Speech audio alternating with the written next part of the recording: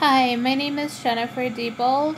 I am the innocent one. I am one of 144,000 chosen lightworkers. And I wanted to talk to you about star seeds and ET encounters tonight. Um, I am a star seed with many different backgrounds of alien families. And if you clicked on this video, you could be a star seed also. Um, some of the signs that you might be a star seed are if you are a black sheep. Um, I don't know about you, but like I like being a black sheep um, because with some of the people, I'm just glad that I am not one of them, and I'm very unique. And um, I like being me. I like to be different.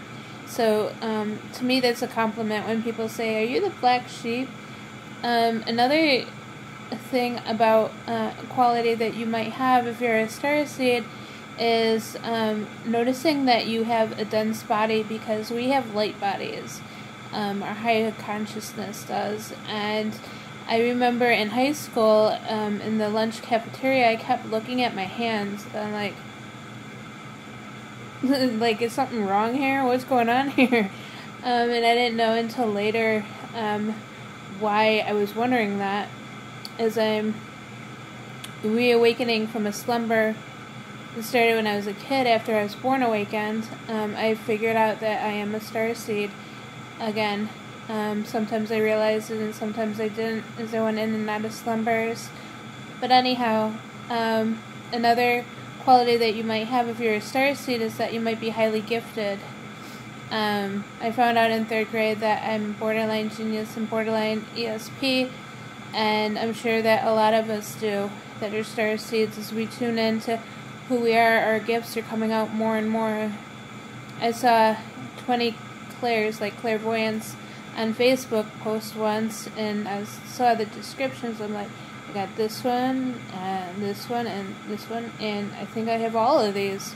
I think a lot of us star seeds do, whether we realize it or not yet. Um, so you could be a star seed if those qualities fit you. Another quality of being a star seed is not feeling like we're supposed to be here, um, thinking that our home is elsewhere because our home actually was elsewhere. We didn't come from Earth, and as star seeds didn't, and so we long to go home. We feel at a place here. And um, it's not all the time, but like a lot of times I, I feel that way too. So if you are feeling these um, qualities, it's a bonus. Um, it's because you're a star seed. And um, my real mom, not my legal mom's, is Pleiadian. And um, I have many different backgrounds um, as far as alien families go um, but I relate to the Pleiadians in that way. When I found out that I have borderline ESP recently, I found out that I take after her. And um, I'm sharing all this tonight because I was inspired by the universe. And motherships go around my apartment complex um, lately. I don't have the equipment to take pictures or anything like that. I wish I did, um, so I can show others. But um, I've seen them around here. Um, they're different than the stars.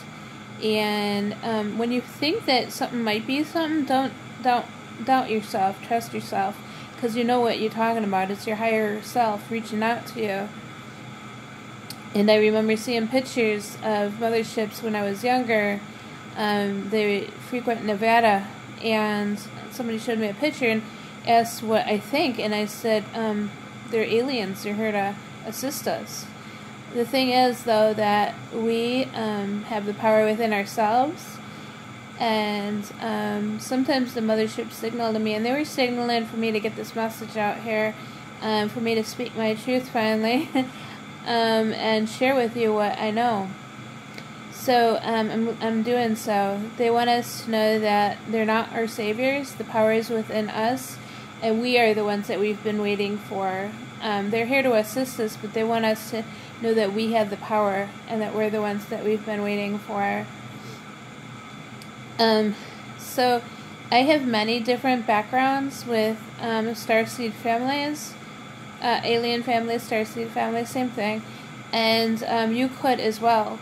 like some of my ET encounters are, I had a, a past life that seems pretty close to this life, um, where I was in a Pleiadian mothership and I was looking out the window at Mother Earth and I was homesick.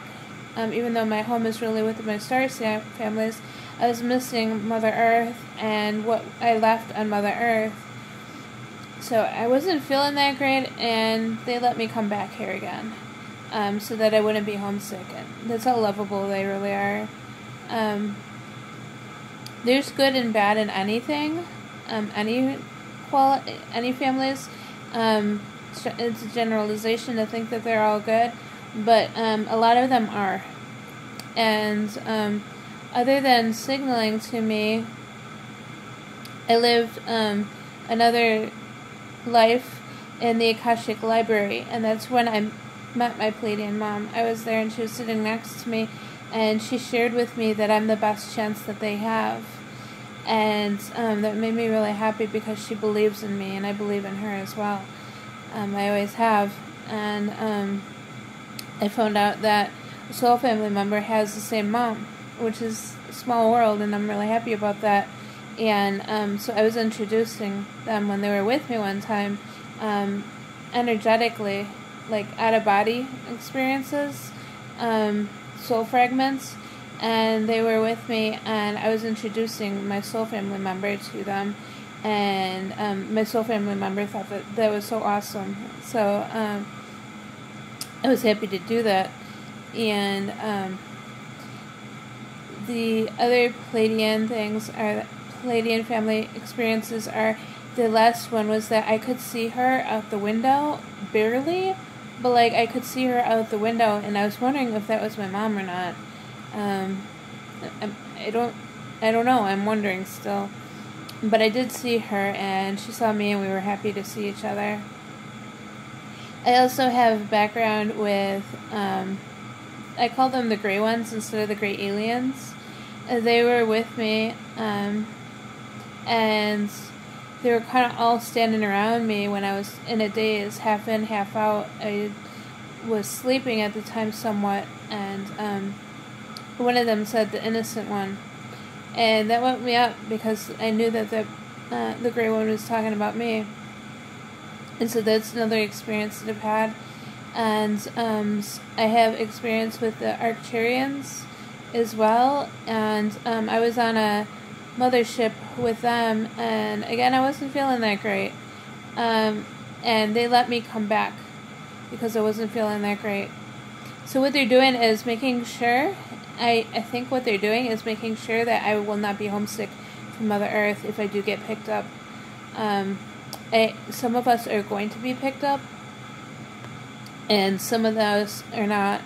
Um, it's all uh, what we wanted before we were born in this life, and it's up to them as well. It's um, sometimes they don't come by uh, us because they think that we might be scared of them, but what it is is that when they get close to us, it brings up a lot of things that we have not dealt with within ourselves, shadow work that we need to do, and so they don't get too close because they want us to be able to work on that and it might be too much at once for us to handle.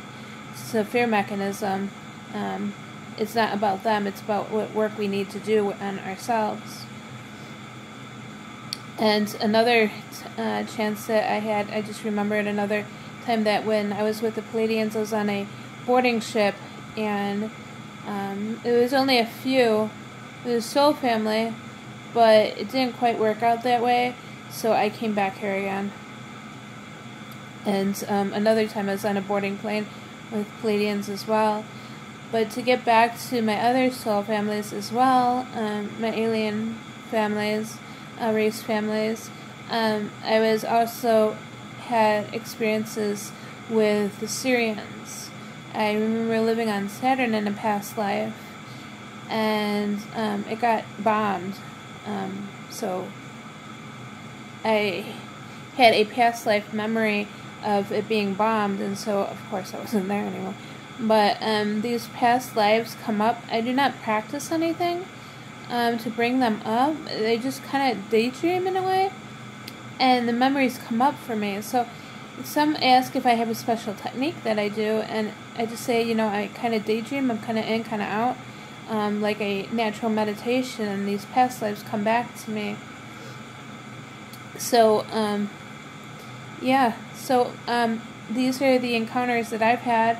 Quite a few, I could say, but um, the um, the mothership had signaled to me tonight to go ahead and leave this message, um, this video. I I had done it last night, but I was half awake, half asleep, so it it was a good video, but I wanted to redo it, and then I got the signal to definitely leave this tonight. And um, if you've had any encounters, you're not crazy. So obviously, because I've had them too, and I'm certainly not crazy.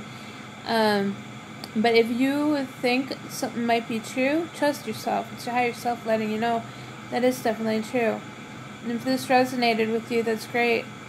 If not, then I understand that as well, and that's cool too. Just whatever you take in, filter it and see for yourself sometimes if you can't take somebody's word for it. Well, um, I talk about star seeds in my book, The Journey to Enlightenment Transcending Dark Nights of the Soul, and I'll put the link below. Please uh, click on the like button. Please click subscribe and comment. I'd love to hear some feedback about this topic. And um, I'll also post my services in the description box. Just click on the title of this video and it'll appear. It'll, be, it'll show where I am on Facebook as well. I put a link below. I'll put a link below so you know where to find me. So I hope you all have a great morning, evening, or if you're sleeping, I hope you're sleeping well. And um, I know it's late, but I just I had to get this out there. So um, thanks and take care.